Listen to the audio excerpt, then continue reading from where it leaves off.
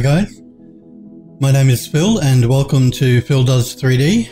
I'm a multimedia and 3D artist and I stream on Twitch weekdays from 5 p.m. Pacific time in the US, 12 p.m. in Australia and 1 a.m. in the UK. Hope all you guys are well and you had a good weekend. Good to see you Sniper Echo, hi and hi Galen, how are you as well? I, I had a good weekend, yes. Um, I had to catch up on some work for the studio, so I had a pretty busy weekend. Not much rest time, unfortunately. Such is life, I guess. Um, oh, you had to redo some work, Galen. That's no good. Remember, guys, I tell you, make sure you save regularly. Like, Galen's a pro, I'm sure he knows that, but for all you other guys, make sure you save regularly and save incrementally, like I told you. That way, even if you do a save and your file corrupts, you can always go back to the previous version. Anyway, I hope you guys are well. I hope you guys had a good weekend. Um, I hope you guys can find me with Twitch's new, what are they calling it now? Communities feature. They did away with categories and creative, and now they're doing communities, and there's no 3D modeling community set up, so I don't know what Twitch are doing at the moment. Um, I'm still streaming with my regular hashtag, so hopefully you guys can find me. Uh, obviously, Galen and Sniper Echo have, so that's good.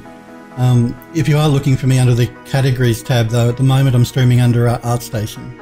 Just until Twitch either create a 3D modeling community or do something with the 3D artist section of their creative website. I don't know what they're doing at the moment.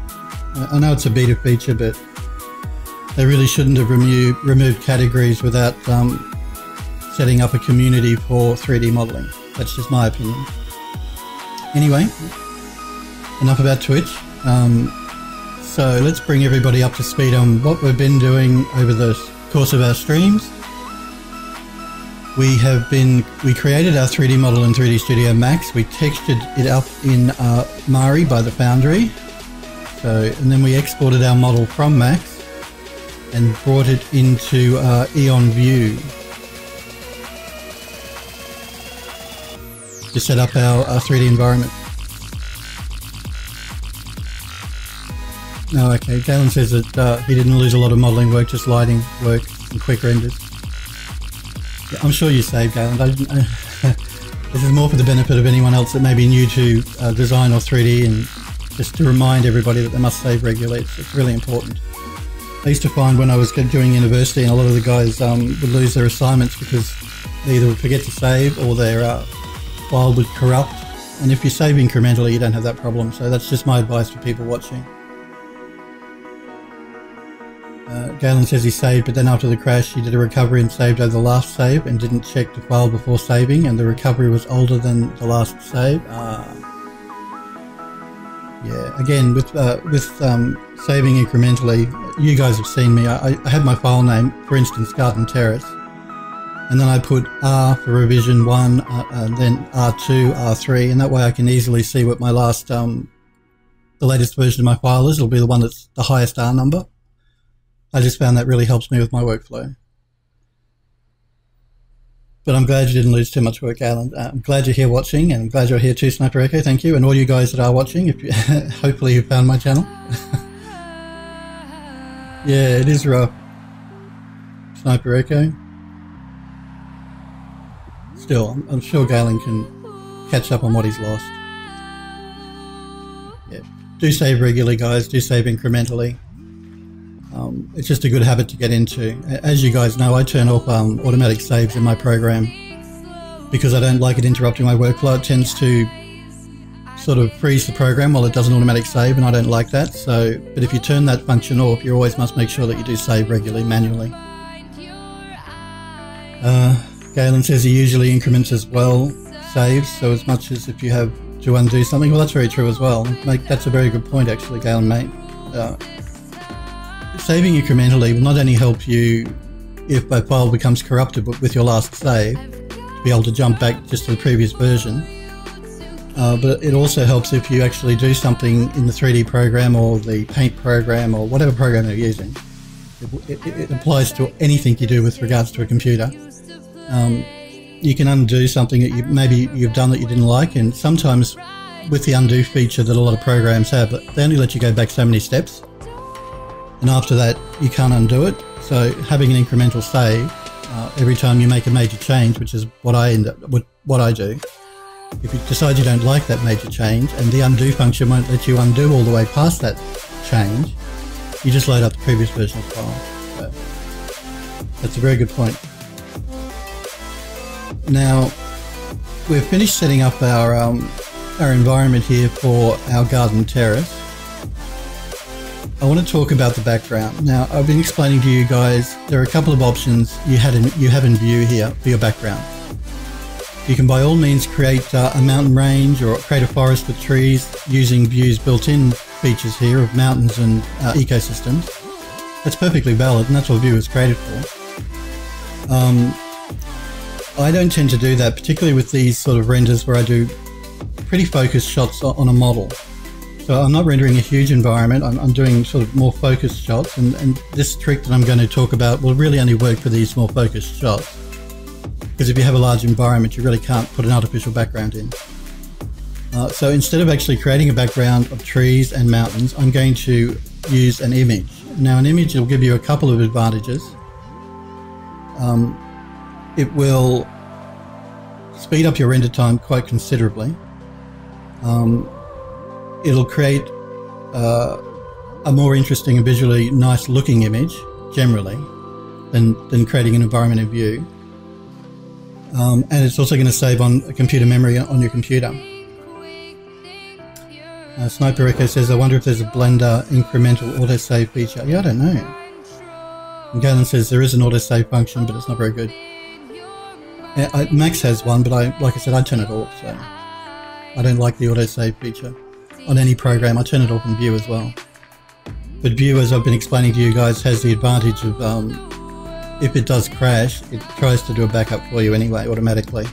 And as you saw on my last stream last week, when we added our trees here in the foreground, our hero trees, Vue did crash, but it created a backup, which and we could continue working from where we were, and we lost no work. So. Yeah, Sniper Echo says he doesn't use it himself, but caused some issues in the past. Yeah, like I said, my main issue with an autosave feature, it's a good thing to have, particularly if you're not used to saving regularly. So if you forget to save your work regularly, don't turn it off. I don't like it because it freezes the software momentarily while it saves and they can interrupt my workflow. I really don't like that. Uh, so I turn, turn it off on any software I use, whether that's um, 3D Studio Max or E-on Vue or anything like that. That's just my personal preference. Again though guys, like I said, if you, if you don't remember to save often, don't, you probably shouldn't be turning it off. But do turn it off if you find it gets in the way when you're working. Uh, Sniper Echo says, I think this is the community for 3D modeling tool. You can create a community that starts with a number. No, no, no. Nightbot won't ban you, Sniper Echo or Galen or any of my regulars. I've um, I've gone through Nightbot's settings and I've made sure that uh, you got you regular guys can post links, you can post symbols, because I know that uh, Smurfery Barbecue likes to post symbols. Uh, uh Nightbot won't ban you. It's only going to ban people, and remember guys, like I said, uh, feel free to pop into chat. I love to look at your work. But if you do post a link in, want to post a link in chat, and you're not one of the regulars that are on my channel here, make sure you tell me in chat first before you post the link, otherwise Nightbot will ban you. Or time you out anyway, at least. Um, you must let me know first so I can uh, add you as a regular so that Nightbot lets you post links. So uh, you regulars, you're good to go. You won't be banned by Nightbot. You won't. Um, you can post your links. You can post your symbols. Do all that good stuff. Just new guys that aren't on my regular list that do want to pop in and show me some of their work. And like I said, I love looking at your work, guys. That's why I'm on Twitch. I'm here to help you as much as I can and to show you my work as I'm working on it. Uh, to look at your work as well, though. So if you do want to show me some work, feel free. But do remember, if you're not a regular, to tell me in chat before you post the link. Okay. Um, I'll have to check that uh, that um, link out you posted, Sniper Echo, about the community for 3D. Because I just know that if you go to Twitch and you go to the creative section and then you go to uh, communities, the communities tab, with all the little squares that show all the different communities, the graphics, there is none there for 3D modeling, so I don't know what's going on. Yeah, Galen says he likes the idea of communities, but it's made an absolute mess of the creating creative streams. I agree. I think the idea behind communities is great, and I'm all for Twitch uh, updating, you know, Twitch itself and, and adding new features and functions. That's a great thing. I just wish they'd sorted out a bit better for creative streamers because we don't tend to. It's not like gaming where you play one game and so you know what your community will be. For instance, my stream, guys, uh, I'm a 3D artist and a multimedia artist. So just for this project that we've been working on now, I've used, uh, you know, 3D modeling in 3D Studio Max. I'm doing rendering in E-on Vue and creating environments. Then I'm going to be jumping into Photoshop and doing color correction. So I wish Twitch would explain to me which community they want me to, to uh, stream in. there's, a lot of crossover with creative streams. You can't really be locked just into one category like you can when you're playing a game. Uh, and Sniper Echo says, uh, Yeah, no, my stream will always be streamed under the creative section because I'm a creative streamer. I do not play games generally on stream. Um, but just the communities within the creative section is a bit confusing at the moment. That's all.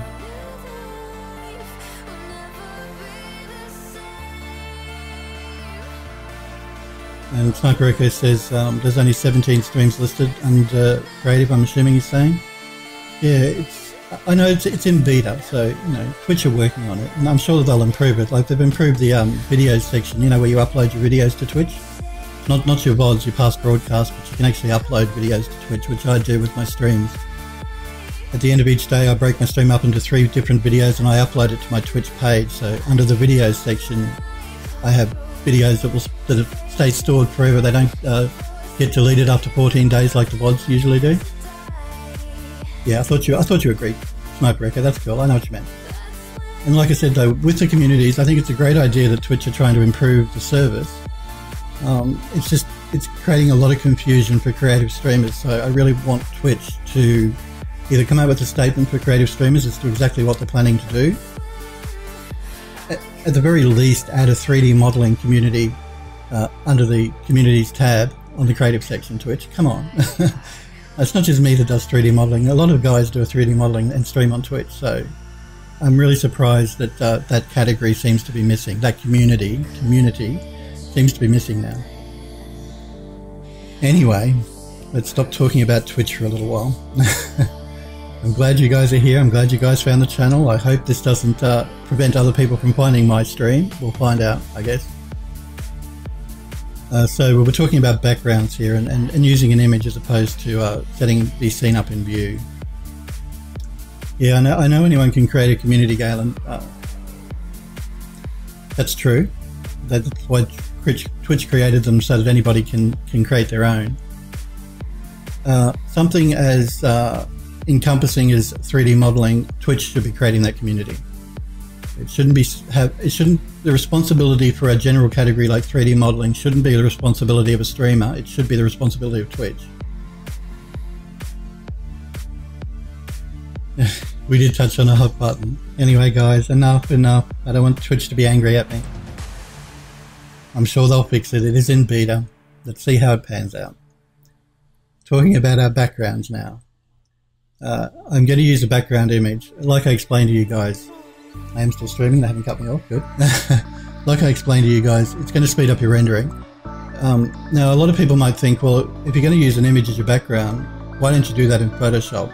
Because a lot of people tend to work that way. They'll render out their image, then they'll put their background in, in Photoshop.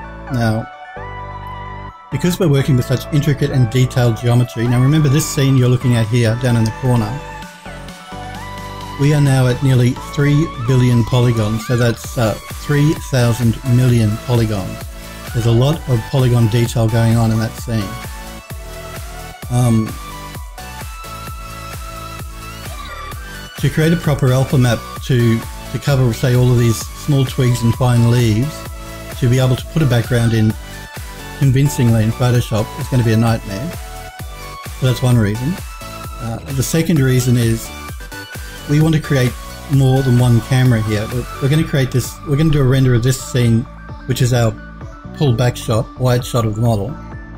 But I'm going to be creating four more close-up cameras of different parts of that model.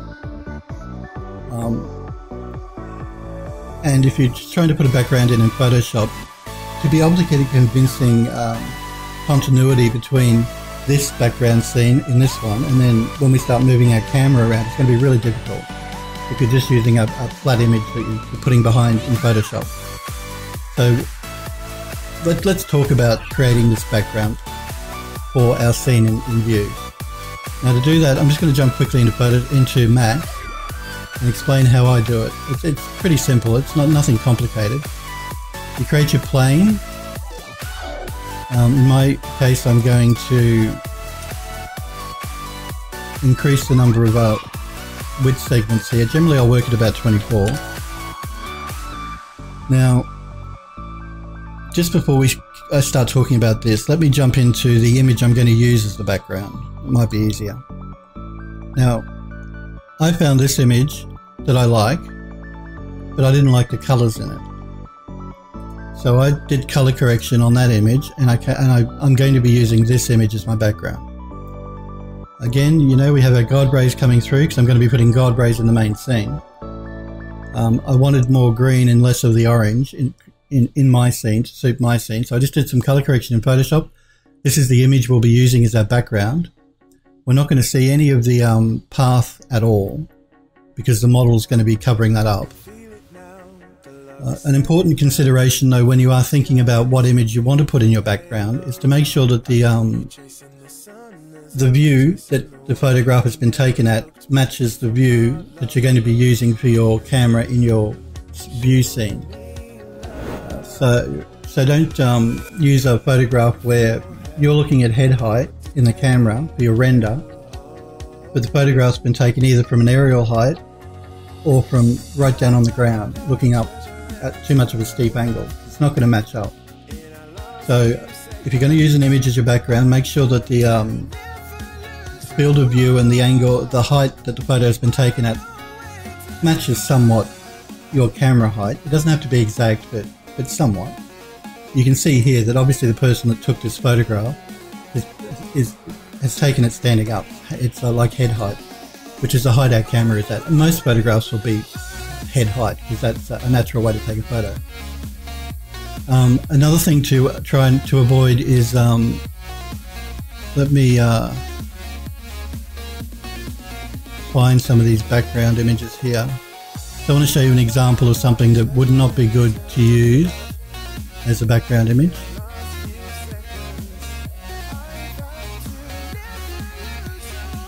Right, one of these. Um, let me just enlarge these a bit more. So something that would be bad to use for your background image would be... want to give you an example of one that's really quite obvious. Probably one like uh, this. You see the trees are too far forward. You could get away with it provided you pulled right in but uh, anything in the fore, try and avoid any photographs for your background that have a lot in the fore or anything in the foreground, like this tree in the foreground. That's not a good background image. This would not probably be a good background image because of this foreground um, flowers. If you place uh, geometry above that line, then you could use this as your background image. But generally try and avoid anything in the foreground if you want to use a background image. And again, if you look at our um, chosen image here, you see that there's really nothing in the foreground. And that's why it makes a good background picture. So we choose our background image, we find out an image that we like. Once we've found our image, we find our dimensions of that photograph, and in this case that photograph is 3000 pixels by 1700 pixels. And that's another thing, try and go for as high a uh, resolution of photograph as you can find because it'll make a clearer background image. So don't don't use uh, 640 by 480, nothing too small. Make it quite make sure you get a quite a, a high pixel uh, background image. And 3000 by 1700 will work for us. So in your 3D program, I suggest you make a plane and you make the dimensions of the plane uh, to match the background image. So 1700 in our case by 3000. So you've got your plane to the dimensions of the photograph, whatever that is for the photograph you're using. Um, I, again, I've added 24 width segments because I want to put a bend modifier on this. Now, whatever 3D program you're using, I'm sure you can bend your mesh in some way, shape or form. Uh, in Max, it's just called the bend modifier. So throw a bend modifier on it. You want to go in the Y direction, and for the angle, you want it to be um, negative 90. Oh, not the Y direction, sorry. The X direction. And you want to make sure your bend is uh, minus 90, and that's just to give you this curve. So again, you see it's just a, a 90 degree curve to the plane. So you, you would apply your um, texture to that uh, plane and then you would export this plane as an FBX or an OBJ or whatever takes your fancy to bring it into E-on Vue. So that's just a, the procedure for setting up your background image. 90 degree angle on a plane and the plane dimensions to match the uh, photograph dimensions. Okay. I'm not going to export this because I've already done that, so I'm going to close Max down.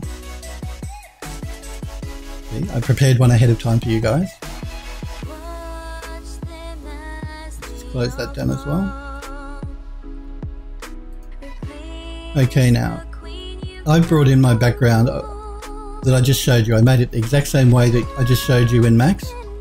And I've just, uh, all I did was go file, import, object, and imported that uh, plane from Max.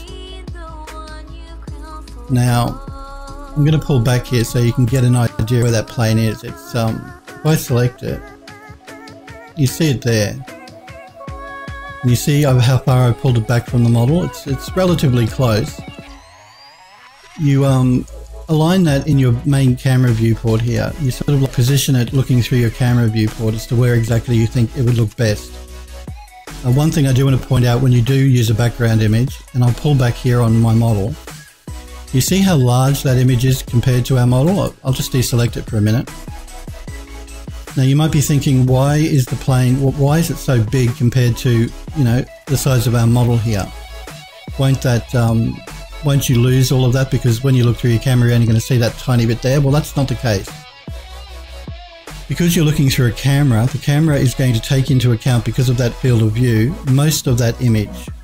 Now I positioned this looking through my main camera here and I can tell you, even though that image looks really large in comparison to our model, it's going to render up completely fine. We're going to see all this detail all the way up to nearly to the top and right out to the edges. So using a background image plane in Vue, don't be concerned if um, the background looks too big for whatever it is you're rendering out because that's natural, normal, and uh, and that's because of the camera and the field of view. Trust me, uh, you will see it all. It, it, will look wrong in your viewport, but when you start doing your renders in your camera, it will be correct. So, I just wanted to point those few things out to you guys about using a background image. Don't be worried that it looks too big in your viewport. It will be fine in your uh, camera viewport. Don't pull the background image too far back behind whatever it is you're rendering and position your uh, your plane as far as you know uh, the X direction here goes by looking through your camera view here. And in our case, we're looking through our main camera view. Uh, that that'll get a good position for us for our other four camera close-up cameras as well. Now, the reason we did a curve to the uh, to the background image as opposed to having just a straight plane, the straight plane will look fine doing a render through our main camera here. But if you want to pull into your model or angle your camera around, you're going to have a problem. It's the same problem you get if you just tried to put a background image straight into Photoshop. Um, you're going to angle your camera and look this way, and you're going to see the edge of the uh, plane, and the plane is not going to look right. It's going to look like it's on an angle compared to where the camera is. But by putting a slight curve to the uh, background image, no matter where you position your camera, you're going to get a nice coverage of, uh, of that background image and also by putting a curve to the background image. And when you do move your camera to different angles of the model, you're going to start to see different parts of that background image. So it's going to look more natural. It's going to actually look like a proper background and not like a picture you've stuck behind your scene. Okay, so again, if you're just rendering one camera, which is at, in this case our main camera here, you could probably get away with a plane. Um, I would still probably do a curve because it will look more natural in the render. Uh, you could get away with a plane, but trust me, do a curve. Get, get into the habit of doing a curved background. and again, like I said, that's really going to help you when you start moving your cameras around to take different uh, angled shots of your model or your environment. Having that curve will stop, um, will, will, will look more natural as opposed to having a flat, um, a flat plane. So just having that bit of a curve, the camera will pick up more of the image and pick up different parts of the image as you move your camera around. Again, it'll look more natural and look more real. Most of the time people won't know that you've used a background image and uh, the final render will look uh, more realistic as well. And it will speed up your renders, so it's a win-win-win.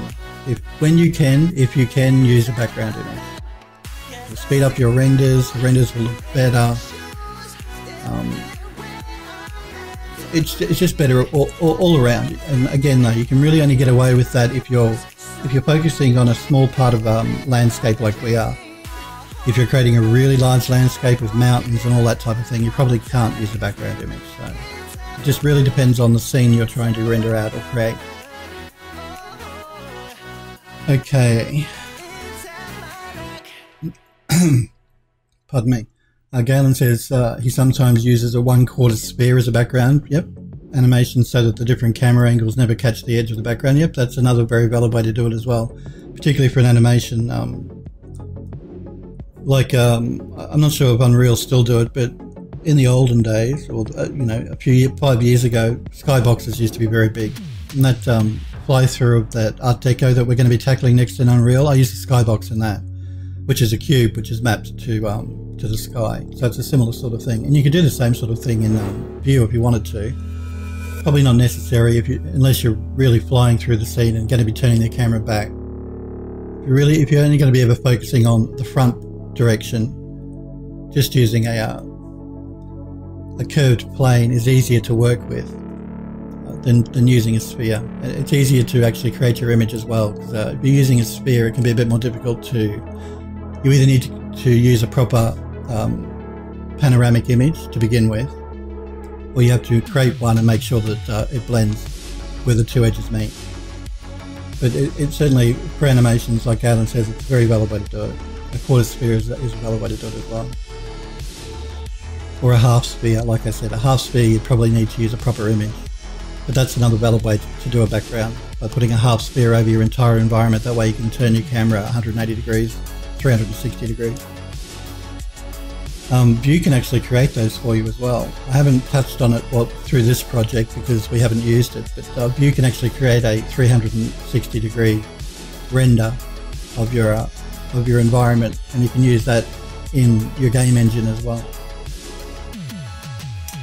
So yeah, I won't, I won't be showing you that for this project because again we don't need it, but you can render out um, 360 degree panoramas from Vue and then use those in a, a sky, in a, a sky sphere or a half sphere in your game engine if you wanted to.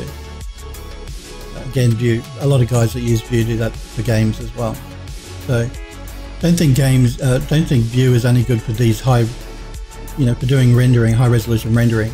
It, it, can be useful in games as well because you can you can render out your environment 360 degrees, so you can create a, a sky sphere in your game engine or a skybox. Um, you can export the terrains that you create, create in Vue as height maps to bring them into uh, engines like Unreal and create your uh, terrains that way as well by doing the sculpting in Vue and rendering out a height map. So Vue can be a pretty versatile program depending on what the project is you want to, you're working on. Yeah, HDR, it's great for backgrounds. Yeah, I agree. Uh, Galen says. Not just uh, global environmental lighting. No, that's right. A lot of people think uh, HDR image you use to, to make sure that your lighting is correct or realistic when you're doing a render. But it's much more useful than that because you can do these 360 degree um, environments for whatever it is you're creating whether it's a game engine or a, uh, a rendering, an animated rendering. But again, remember guys, Vue can, can, can render out these 360 degree camera, uh, sky boxes for you. And you can also use it to uh, export height maps for use in, in real-time game engines.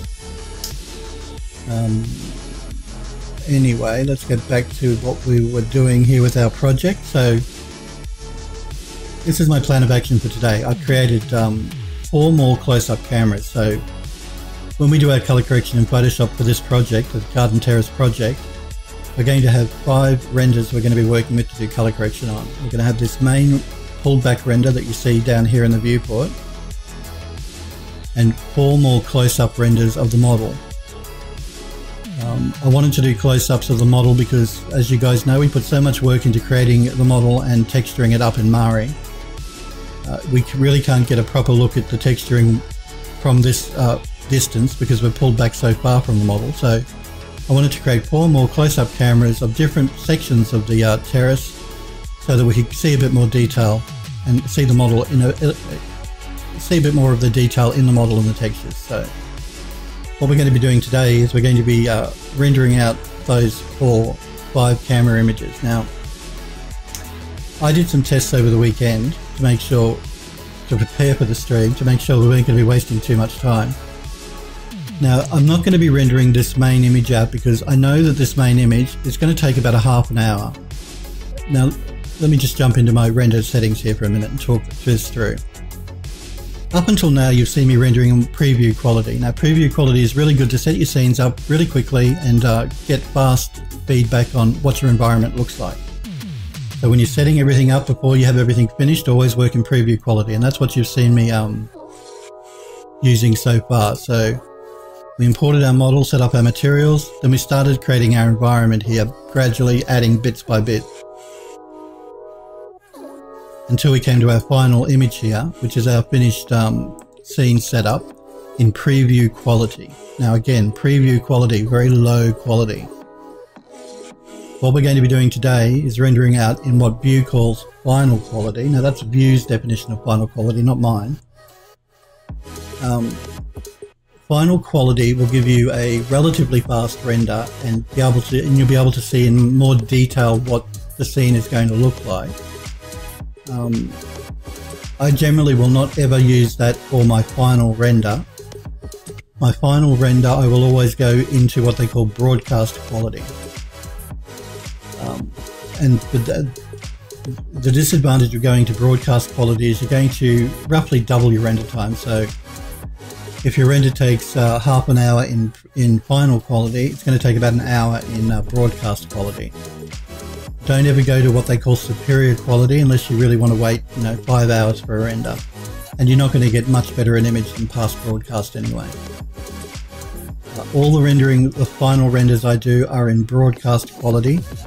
I'm going to be rendering out the five cameras, the four cameras today in uh, what they call final quality, but I would never never settle on final quality. I'm going to re-render them after the stream in broadcast quality. So when we come back tomorrow and we jump into Photoshop to do the color correction, we'll be we'll be working with uh, broadcast quality renders. But I wanted you guys to see the renders as they were happening today on stream live. So I'm going to be using uh, final quality. I just want to make those distinctions. By all means, if you're happy with um, with the render you get using final quality, then use it. Uh, I'm not. Uh, you, are going to get a, a nicer image using broadcast quality. Don't ever go to superior quality because it, it really does add nothing to the image and it just slows the render down dramatically. So again, just to recap, if you're working with Vue and you're setting your scenes up, always use preview quality until you get everything laid out the way you like. Once you've got everything laid out the way you like, you can do final quality renders to give you a better idea of what the scene looks like. Um, my suggestion though then is not to stick to final quality renders, but to go to broadcast quality renders. For your final final image that you want to save on your hard drive or put in your portfolio. Uh, always do broadcast generally. It will double the render time, but it will look much nicer, much clearer, much cleaner. But that's again, though, that's your personal preference and your personal choice. If you're happy with final quality, then by all means use final quality. My recommendation, though, is to, is to do it in broadcast quality. Now, um, let's let's uh, talk about creating more cameras because at the moment we've only been using this uh, main camera view, which is pulled out on our model. To create a new camera in Vue, it's really quite simple. You just um, select a camera, you want to copy the camera, and then you want to paste the camera. And that's going to create a copy of your main camera in exactly the same position as the one that you're looking through. Once you've done that, you can select the copy it made and move it around in your scene to get an angle that you really like, that you want to do a render on. Now, again, I've already done that, so I'm, prepared for you guys, and I've created four more cameras for our scene here on different close-up parts of the model. And they're the ones we're going to be rendering out now. In order to change your camera view here in the main camera viewport, you want to select your camera, main camera. Now hopefully you can see it. Uh, you can just see it above my, um, my music there. There's a little drop down menu just here in the corner that says main camera. If you click that, you won't be able to see it because it's going to be hidden behind my um behind my overlay. But but it, it will list the second copy of the camera you just made if you if you just created a, another camera. I've already created them, so it's going to list all of my close-up cameras because I've already uh, copied and pasted and moved them around. So to change your camera, you select your main camera, you hit that little drop down down here, and select the next camera that you want to render out. In my case, I'm going to jump to camera 3, close-up camera 3. And you see that uh, your viewport here will change to the new camera. And the new camera is pulled right in close to the model here, as you can see in the top viewport. Okay, uh, remember guys, if you've got any questions, anything you're not sure about or you don't understand, uh, please feel free to pop into chat and ask me. Um, if you just want to pop in and say hello, that's cool. If you just want to watch, that's completely fine. So it's really easy though. You just, to move a camera, you go into your move tool here and just move it around. Go to your rotate tool and rotate your camera to the angle that you want. It's the same in most 3D programs. So nothing new really there. Uh, just selecting your camera is, is a little different in Vue in that you select the camera, you go to this little drop down menu down here and select the camera that way and that will update your main camera viewport here. Alright, so we have our our close-up camera one, well in this case number three, one of our close-up cameras selected. Let's do a render on this and let's not do it in that preview quality you're all used to. Let's do it in final quality so we can get a better idea of what the uh, render is going to look like. Now, it's going to be slower than doing it in preview quality, but faster than doing it in broadcast quality. I don't want to do broadcast on stream because it, it's going to take a little, you know, I don't want you staring for an hour at something rendering out. And this will render out in about 10 minutes or so, so for each camera. So we're going to change our, our post-render quality to final. We're not going to change anything else. Um, that's the only change I've made to my render settings. I'm just changing it from preview quality to final quality, okay? We've selected our close-up camera, so let's do a render.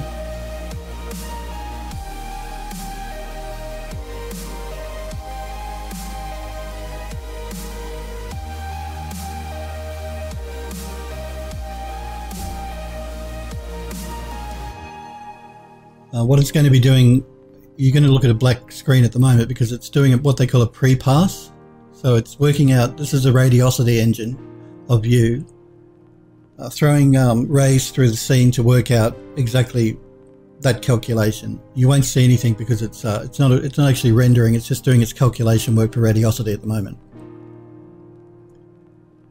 Uh, it should get through that pretty quickly, and once it does that, then it will start rendering out, and it will render from the top across. So, if you saw in our preview quality, it's sort of um, it's sort of what's the word? Uh, it, it it improved the image gradually, bit by bit, so it still ran down the screen, but you saw something completely, and then it went over the screen again and again, and, and gradually kept refining that image. It's going to not going to work that way this time. It's going to actually start rendering the image properly, and it's going to go line by line from the top all the way down to the bottom. So it's not going to gradually be improving the image, it's going to render out the proper image to begin with. I know uh, some of you guys have used V-Ray. It, it, works a similar way to our preview quality in that it, it throws out uh, a rough ray render first and then it starts uh, improving that bit by bit over the image. Vue works differently in that it does it line by line. Progressive refine is what is what blend. Well, thank you, Galen. That's probably what it is called, progressive refine. Yeah, that's a good. Thank you for popping in and telling me. Yes, progressive refine is right. V-Ray works the same sort of way when it does a render, it progressively refines it. Uh, Vue does not work that way. Not that you see anyway. Behind the scenes, it's working the same sort of way, but when it starts actually rendering out, it's, it's its final render quality. But it does it from the top and works line by line all the way to the bottom. I know when I do a render in V-Ray, it tends to jump in a circle around from the, usually from the middle to the edges. Vue again doesn't work that way. It does line by line by line, but final quality line by line by line. And like I said, what it's doing, I don't know if you can read it on the screen there, but it says pre-pass and it's just working out its radiosity at the moment, the calculation for radiosity. It should get through that pretty quickly and then it will start the actual proper render of the um, image.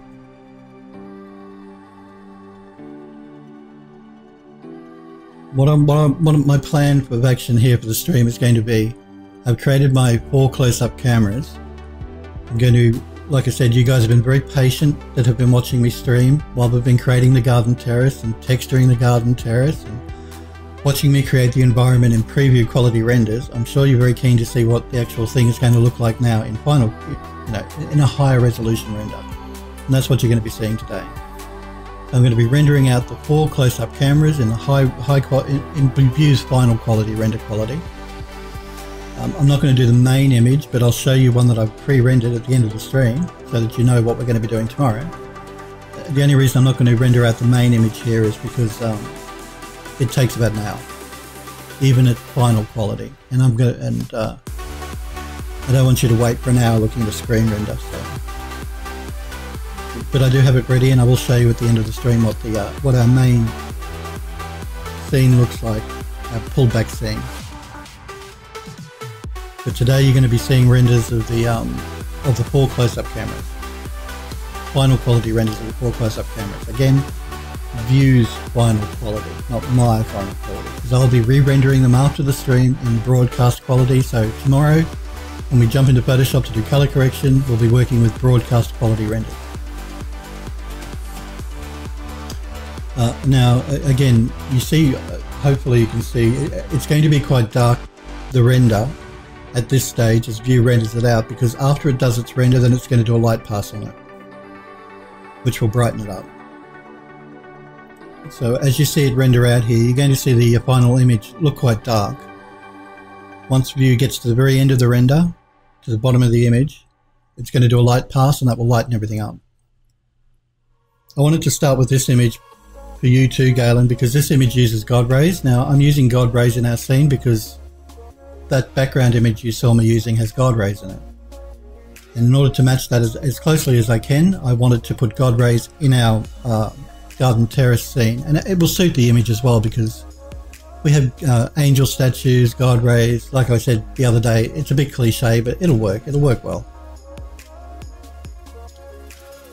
And this close-up um, render here that I'm doing has a lot of God rays in it.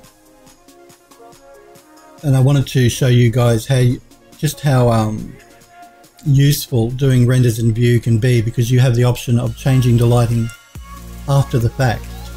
So with a lot of rendering programs, when you render out your image, that's it. You, can't really alter it unless you jump into Photoshop and do it that way. Well, Vue is a bit different. It, it has um, interactive uh, lighting, so you can actually change your lighting after the fact, after the image is rendered. And I want to show you that after this uh, after this render finishes.